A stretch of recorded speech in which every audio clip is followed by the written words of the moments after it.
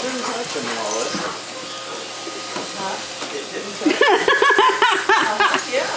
Puppy just flopped down on top of it. It's like, okay, I'll go the other way. Is it coming for you, Duncan? Is it coming for you?